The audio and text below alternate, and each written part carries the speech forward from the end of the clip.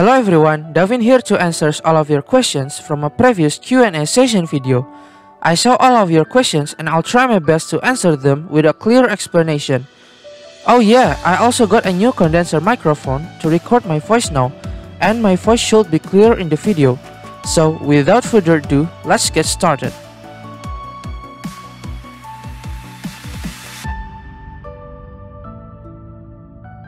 It's kinda funny if I try to answer this question, even though I'm a cat loving person and I love cats, but sadly I don't have cats in my home. My parent prohibits me to have cats because they don't like cats in my home and they think cats will make more mess with our stuff and scratch everything. Especially my mom who has allergies to cats. I myself kinda agree with them and to be honest, I cannot take care if I have cats because the expenses of treatment and the daily routine fees of cats can be expensive. And also I'm busy so I don't have much time with my cats.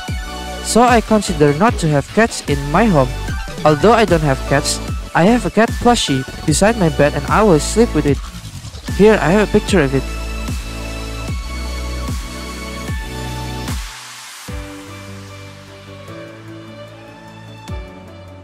Honestly, I don't remember exactly when I became a furry, but I think it happened from 2017 until 2018. At that time, I already knew and close to my buddy, which is Werewolf GD. I can say that Werewolf GD has introduced me to the furry community, even though it was indirectly. At first, I saw his post on Facebook and his profile picture as well usually has a furry anthropomorphic animal character art. I don't know what are those, so I researched about it on the internet and found out that kind of art was named furry characters and the people who attracted or liked that kind of stuff was named furry. And also, I found out that furry has some genres. For example, Werewolf GD likes a bar genre of furry because he likes buffed and strong furry characters, while I like more of a Kimoshita genre of furry because I like cute and adorable furry characters.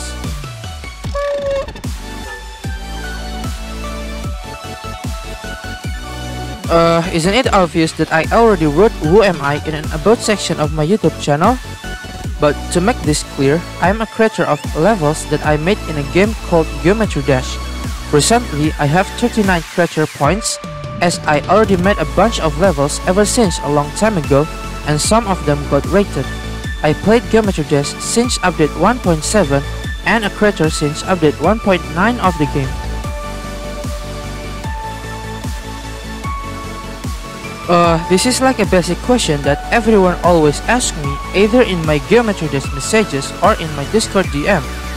My answer is yes, I consider myself is pretty good at building levels on Geometry Dash, as I have a lot of experience and I create levels in Geometry Dash since a long time ago. I'm a multi-style creator so I literally can make my levels in any level style that I want to.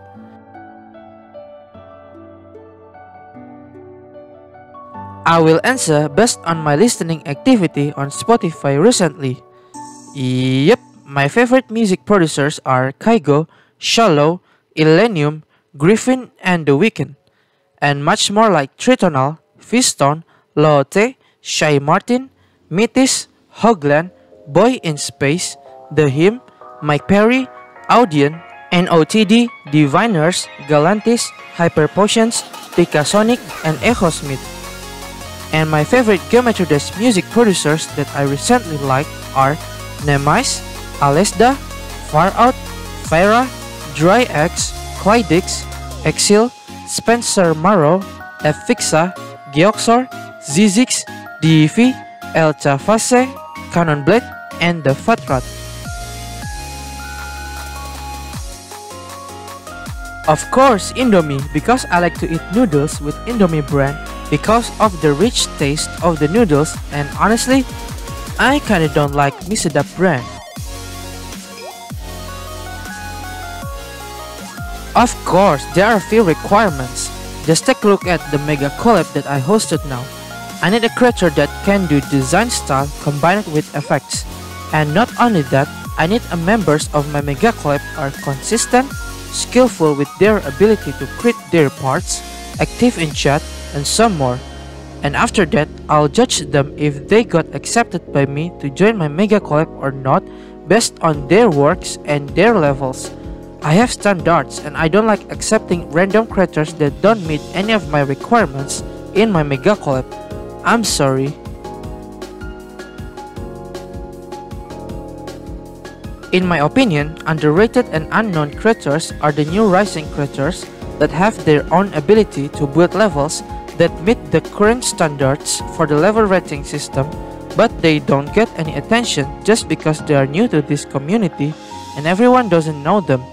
That's why they are unnoticed, but they deserve attention from the community because of their amazing works. They deserve to be placed in this community.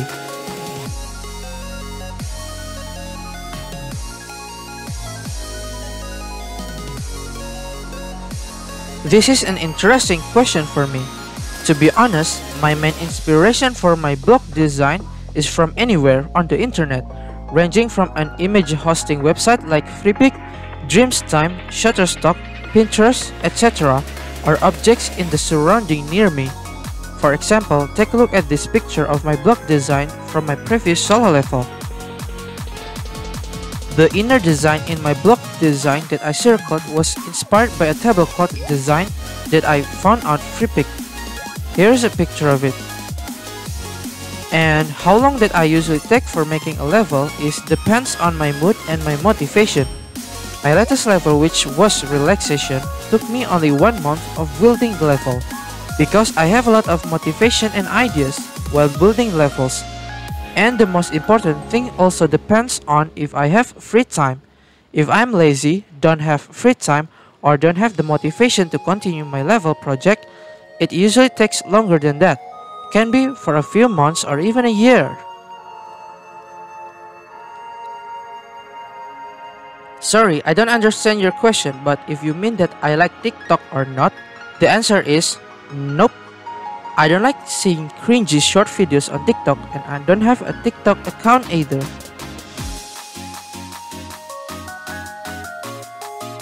Lately, I've been sick but now I just recovered from my sickness. I'm fine for today. Thank you.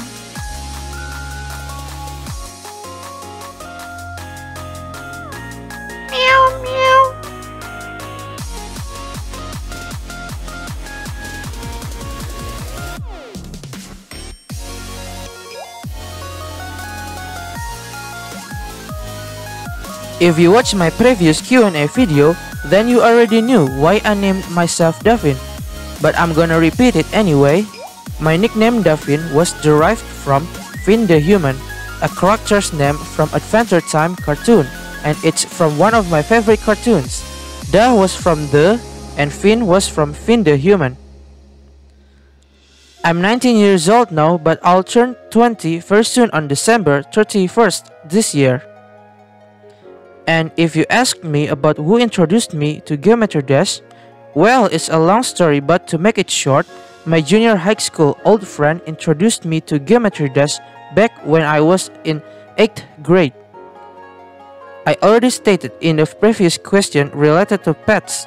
No, I don't have pets.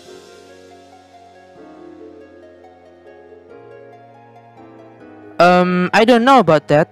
But for now, I'm still playing Geometry Dash, even though I don't have much time that I used to have a long time ago back in update 1.9 until update 2.0.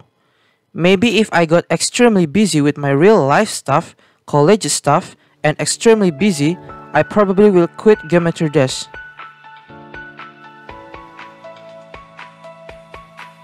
My favorite creatures? Dang, if I tell you that will be so many but I'm gonna tell you just my recent favorite creators, which are Soluble, Chuchito Danger Cat, Nexander, Filaret, Nashi, Elmatosweg, Antonsen, Knots, Unzor, Sandergame, H Hyper, Def GT, F5 Nike, Kedarko, Mr. Cooltrix, Werewolf GD, Castrix, Darwin, Zoroa, Pipanashho, Sputniks, Han, Subwoofer, Nowick, Daniel DLC, Izhar, Destici, Waflex, Leoftin, by 7 on, Inex, Naimnaro, Ocean Dark, Hell Pegasus, Menhue, Amor Ultra, Jonathan GD, Enzor, Buragos, Danny Paul, Space Dust, Blue Moon, Kitty Dodge, and Frymare. I usually make arts in Geometry Dash takes me for a few hours. Just for an example, when I made the first art on my latest solo level, which is Relaxation, it took me like 14 to 16 hours just to make one art. How much time that I usually take for making arts in Geometry Dash also depends on its complexity. If the arts are more complex, then it will take me a longer time than a few hours.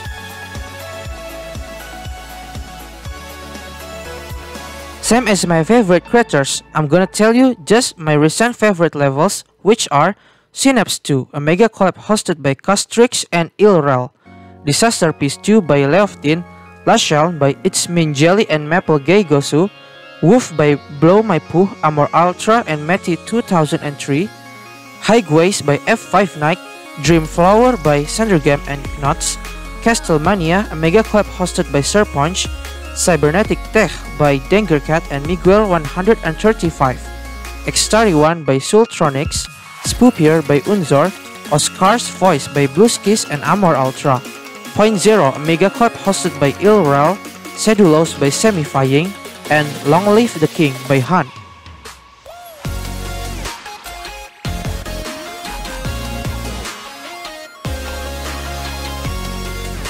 Another interesting question about what gave me the idea for my OC or original character. Well, it came out approximately one year ago when I struggled to find something like a mascot or OC for my YouTube channel. Then I got an idea about making my OC as a cat because like I stated previously, I'm a cat loving person. Also, I made the personality of my OC similar to my personality. At that time, I already have some artist friends on Facebook that can make me an OC. The design, color, species, ideas and some minor details actually came from my inspiration and my ideas. Then I told one of my artist friends to make me an OC based on my inspiration and my ideas. Of course, it was made from an art commission, so I paid the artist. And after it was done, I'm so happy that now I have my first OC design. This is the picture of it. Then I started to improve my OC design and commissioned my other artist friend to make it with slight improvement as you can see in the picture. And the most recent art commission was from Amor Ultra. I already knew he is an amazing artist and I paid him to make my OC. And after it was done, I immediately set it as my YouTube profile picture and did the same on all of my social media accounts. This is the full picture of it.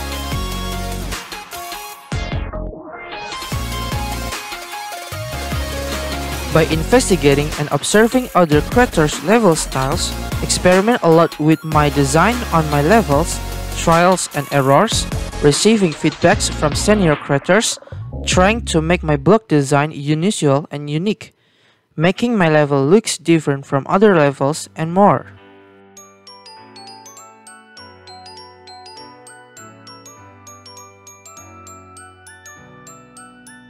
For my inspiration for creating something, I already answered it from Mr. Cooltrick's question. What I enjoy the most as a creator is the process of making my levels from scratch. It's like you need to brainstorm for ideas and concepts, finding inspiration and motivation, and what kind of ideas you want to implement into the level. I create my levels just for fun and creator points is just an achievement for what I've been done with my levels after it's finished. Nothing more. And the perks of a creator, especially if you're already an established creator are, you will have a connection to other creators, diving into the community, and sharing knowledge about creating levels. For my next project, I've been working on my upcoming level. The layout of it was already done and I'm working on decorating the first part of the level but I kinda got demotivated and it will take me a long time again to finish it. Previously, I'm playing Geometry Dash both on mobile and PC, a laptop that I have. But I feel like playing on mobile has some disadvantages like the limit of how can you play levels without problem, especially in a laggy and heavy objects level. Smaller screen that often makes my eyes hurt doesn't have a complete version of Creator Hex for a mobile version made by Absolute Gamer, and much more. So for now, I'm only playing Geometry Dash on my PC, a laptop that I have.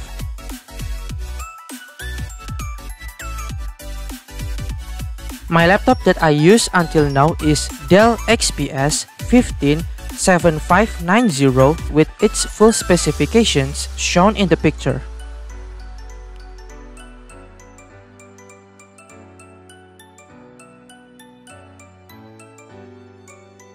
My favorite furry YouTuber?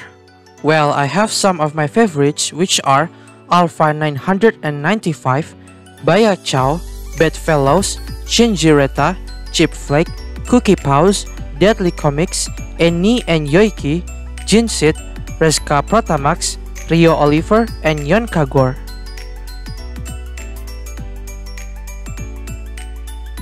Of course, I'm a furry. Uh, about my sexuality? Um, I don't know, I don't really feel comfortable with that question. I'm gonna keep it private, sorry. Okay, I think that's all my answers to your questions. I hope you like and enjoy the video.